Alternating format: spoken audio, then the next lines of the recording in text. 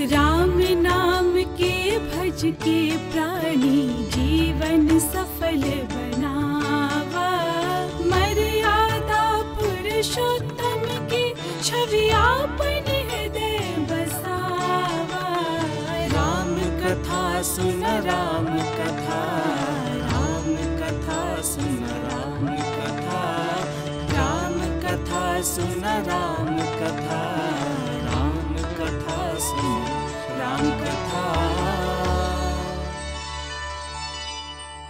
श्री राम जय राम, जय जय राम। आज की श्री राम कथा में रवालों के स्वागत बा आज नवरात्रि के पहला दिन है। देवी मैया की कृपा रोआ लोग पर होको रो लोग के नवरात्रि के पूजा पाठ सफल होको ऐसन कामना हमार बा काल प्रसंग चलत रहे कि शिव जी के बारात आइल ब्याह संपन्न भइल।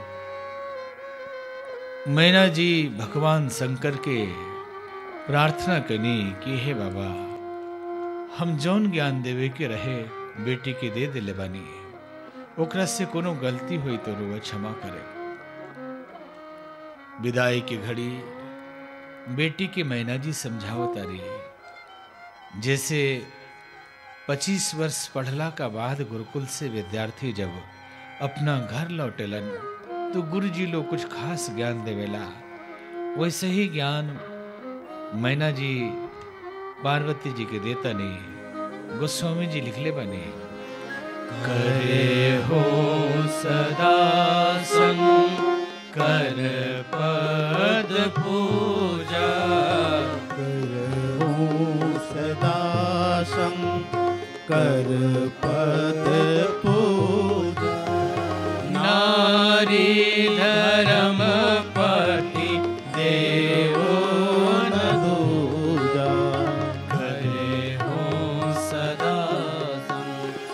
बचन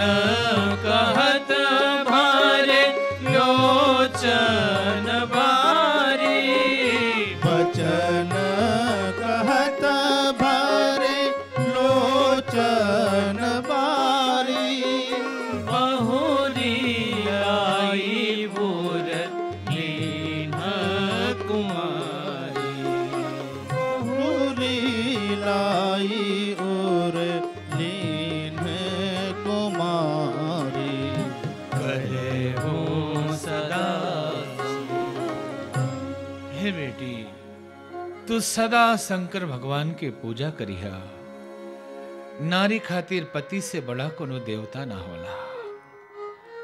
अखबारी में भरत अरी मैना जी पार्वती जी के बोलत बोलत आँख में से लोर रोकत नइखे कई लोग के मन में ये प्रश्न उठेला, जमाना बदलल बा, लिखल बा कि नारी खातिर पति से बड़ा कोई देवता नहीं खे तो पति खातिर के बा? सच्चाई तो ये बा कि जब ब्याह होला तो ब्याह होते ही लड़की देवी बन जाली। लेकिन ये ध्यान रही कि ब्याह होते कोनो आदमी देवता ना बन जाले। कोनो लड़की के ब्याह हो लक्ष्मी नाम बा तो वो ब्याह होते ही लक्ष्मी देवी हो जाए सरस्वती देवी हो जाई, रंभा देवी हो जाई बकिर कोनो सुन ले बनी कि रमेश देवता ब्याह होते ही देवता हो गए मोहन देवता, घनश्याम देवता, नारी तो पहले ही से देवी वाड़ी और सारा जगत नारी के देवी के रूप में पूजेला। यहाँ मैना जी समझाओ तरी बेटी के संस्कार देता रही उपदेश देता रही विदाई करे से पहले। पहले के जमाना में यह सिखावल जाए कि बेटी यहू घर के मर्यादा रखिया, वहू घर के मर्यादा रखिया। आज से उहे तहार घर बा, जाके वो घर संभाल ला। एगो घटना याद आ गई पता ना एमे कितना इतिहास बा, संत लोग के मुख से हम सुनले बानी। कि जयपुर राजघराना में एगो बेटी पैदा भइल। बेटी भैली माई ओकर मर गई और राजा बड़ा प्रेम से, बड़ा भाव से, जिम्मेवारी से बेटी के पालन पोषण कैलन बेटी बड़ भैली तो उनकर ब्याह करे खातिर दुल्हा खोजे लगलन जब बराबरी के खानदान में कुल में दुल्हा ना मिले तो तना अपना से छोट घराना में, राजघराना में ही बेटी के ब्याह कर दिले। बेटी विदा होके गईली।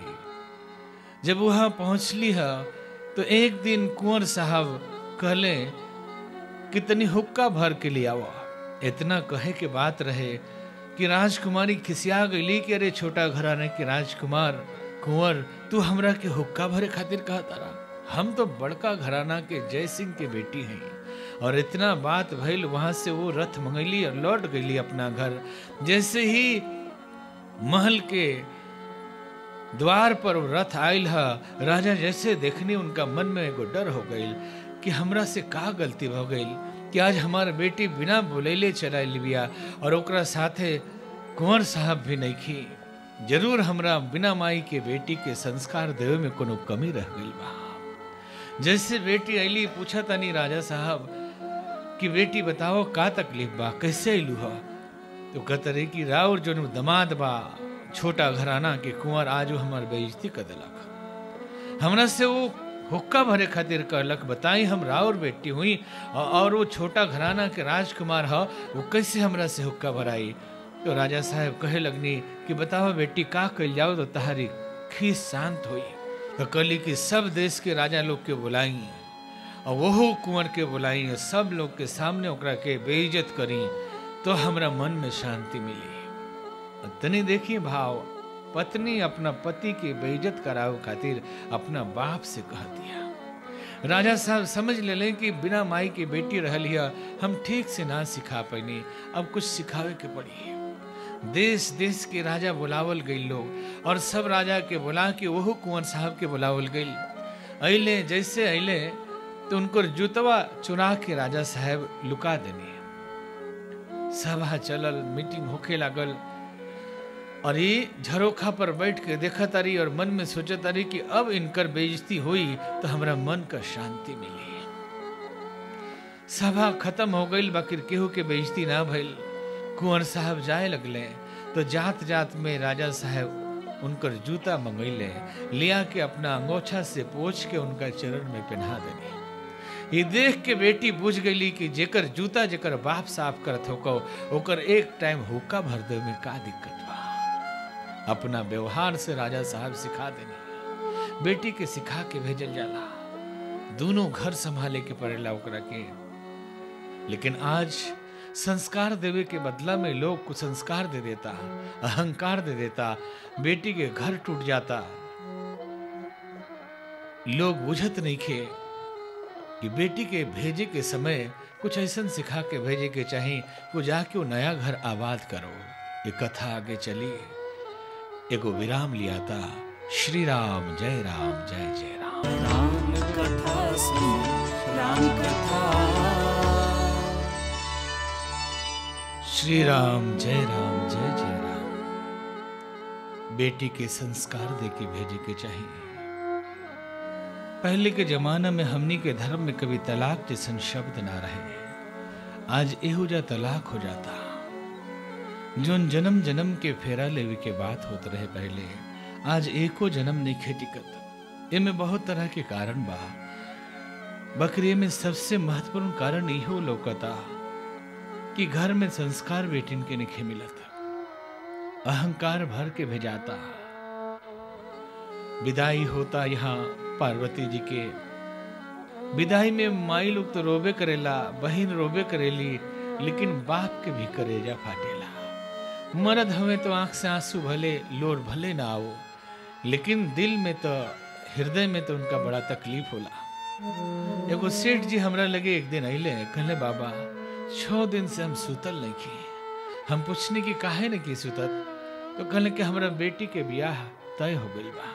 हम कहने, आजकल लोग तो ऐसे नहीं के सुतत की बेटी के ब्याह नहीं के तय हो और हमारा बेटी के ब्याह तय हो गई बा, तर नींद नहीं खेवा कहे लगनी वहाँ का कि बड़ा छोट रहलक तब से हम ओकरा के एक एक सामान के ख्याल रखेनी। ओकरा कोनो तकलीफ़ मत होको अब जब ब्याह तय हो गइल बा तो मन में इहे हमरा आवेला कि दूसरा लोग के लगे जाई, सब लोग नया होई, के ओकर ख्याल राखी, के ओकरा के खियाई, और कैसे वो व्यवहार कर पाई, हमार बेटी कैसे दोसर पराए लोग के साथ जीही ये सब सोच सोच के हम सूत ना पावेंगे जब बेटी के विदाई होला तो सचमुच बड़ा दुखद घटना होला भले नया संसार बसे की खुशी हो को, लेकिन एक पूरा घर छोड़ के अपना भाई, बहन, माई बाप के छोड़ के जाए के पड़ेला। आज यहाँ पार्वती जी विदा होता रही हिमाचल प्रदेश के वहाँ के सब लोग रो रहल बा, सब जगह, सबके आँख में लोर भरल बा। घर से डोली चलल लाबुनी के का नज़ारा बाई ज़िंदगी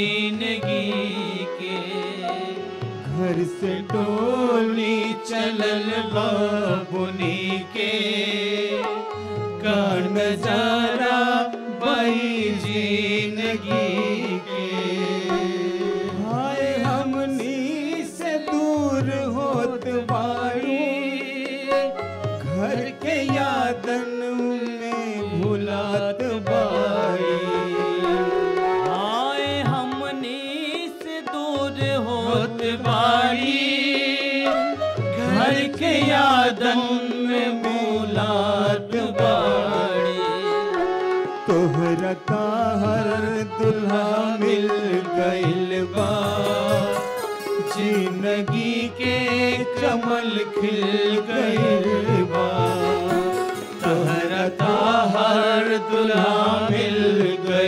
बा ज़िंदगी के चमन खिल गइल बा। घर से डोली चलल बबुनी के। का नज़ारा बई ज़िंदगी के।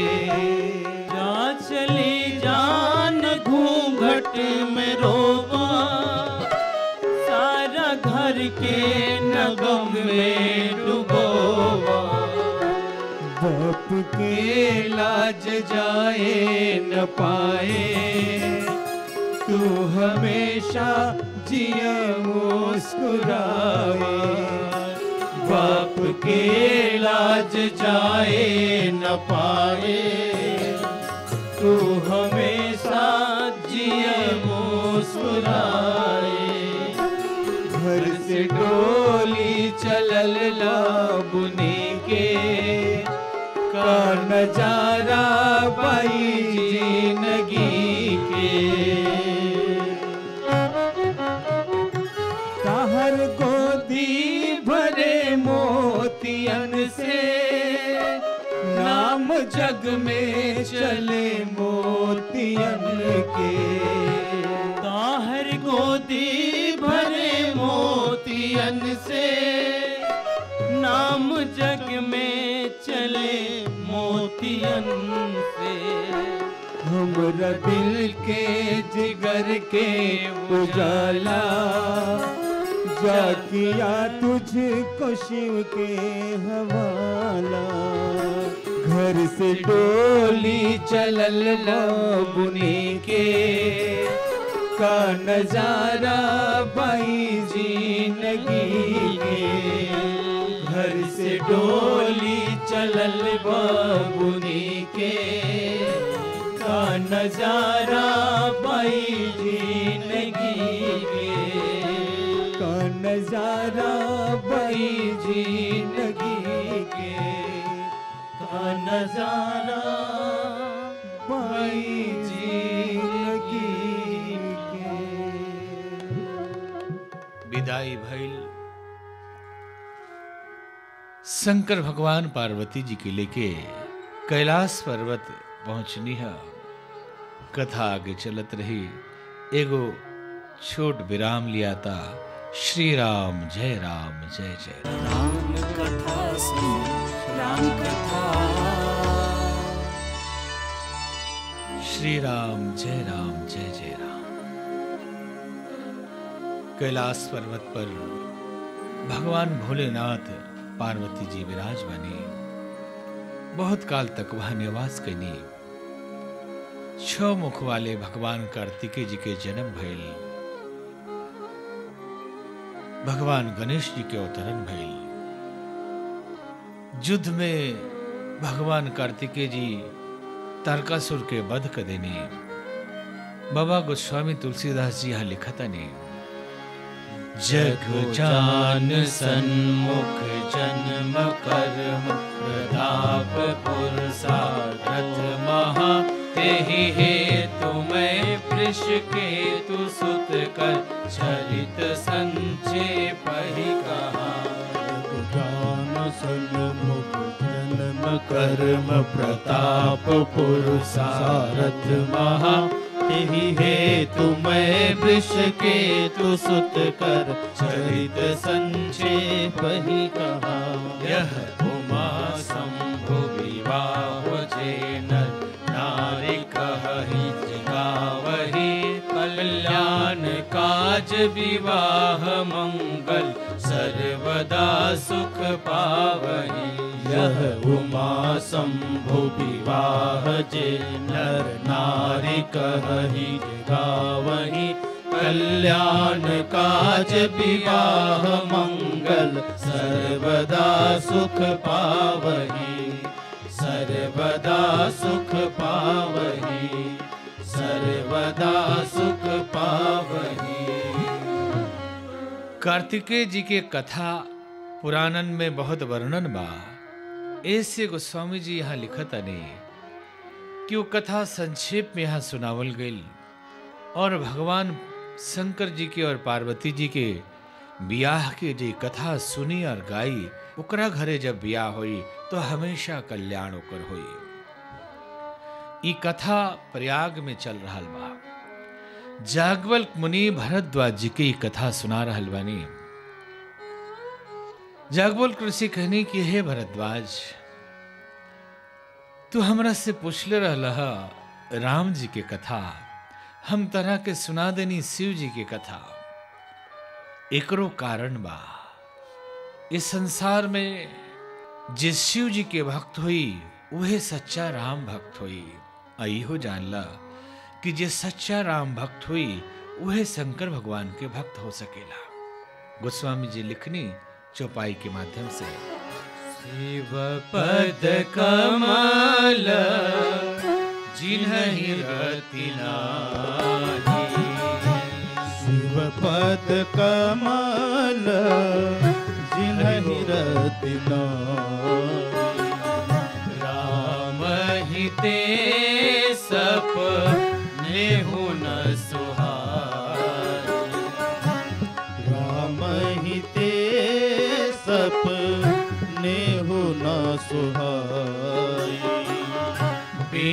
छल विश्व नाथ पगने हो। बिनु छल विश्व ने राम भगत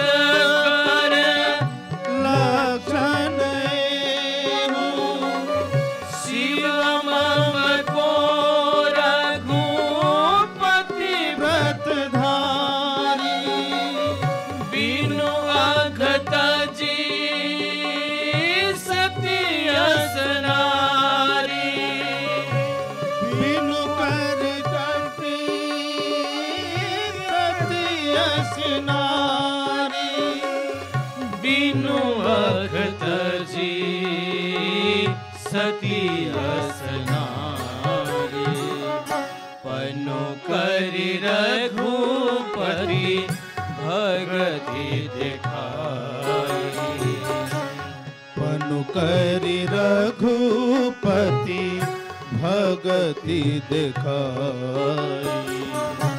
ओ शिव समरा मही प्रिय भाई। ओ शिव समरा मही प्रिय नाम। बिनु छल विश्वनाथ पगने हो, राम भगत कर लक्षण ए हो। यज्ञवल ऋषि कहतने कि हे भरद्वाज जी, बिना छल के, बिना परपंच के, निर्मल पवित्र भाव से, जे शिव जी के पूजा करी वह सबसे बड़ा राम जी के भक्त होला। राम जी शिव जी की पूजा करता नहीं और शिव जी राम जी की पूजा करतनी दोनों लोग एक दूसरे से अलग नहीं थे। हो सकता वो जमाना में जब ये कथा गोस्वामी जी लिखनी सोलह सौ इकतीस ईस्वी में घड़ी शिव भक्त और राम भक्त के बीच में, शिव विष्णु के बीच में कुछ तकरार, कुछ लड़ाई चलत हो को ओकर सामंजस्य बैठाव खातिर गोस्वामी जी ऐसा कहनी, ऐसे तो ईश्वर एक ही होला। शास्त्र में लिखल बा, एको सदविप्रा बहुधा वदंती। ईश्वर तो एक गो बानी, ज्ञानी लोग अलग अलग रूप में उनकर वर्णन करेला। लोग सोचेला कि ब्रह्मा जी एगो बानी, एगो विष्णु जी बानी, एगो शंकर जी बानी अब फिर है तैतीस कोटि देवता लोग बा। ठीक बा, ये सब देवता के अस्तित्व बा, सब देवता के महिमा बा। तनी ठीक से समझ ली। भगवान एक गो होला जकरा के शक्ति कहाला, जकरा के ईश्वर कहाला, जकरा के परमात्मा कहाला। एक गो भगवान होले। जब वो सृष्टि के रचना करेले, जब सृष्टि बने लगेला, बने वाला प्रक्रिया के ब्रह्मा कहल जाला। और जब पालन पोषण होखे लागेला, सृष्टि चले लागेले तो एकरे के विष्णु कहल जाला। और जब फिर से वो समेटाए लागेला तो ओकरे के शिव कहल जाला, शक्ति एक गो बा, परमात्मा एक गो बानी अलग अलग कार्य करत समय अलग अलग वहाँ के रूप हो जाला और वही रूप में आदमी पूजेला। आज की कथा यही जा विराम ली। कोनो मन में जिज्ञासा प्रश्नों को रोज कहल जाला। रोवा लोग पूछ सकतानी जो स्क्रीन पर फ़ोन नंबर और ईमेल आईडी चल रहा बा ऊपर प्रश्न पूछ सकतानी आई आज की कथा समाप्त करे से पहले हमने भगवान नाम के कीर्तन करी हमरा साथ साथ रवो लोग भाव से कीर्तन करी। जय राम लला जय जनक लली जय जय हनुमत बजरंग बली। राम लला जय जनक लली। जय जय हनुमत बजरंग बली। जय हनुमत बजरंग बली। जय हनुमत बजरंग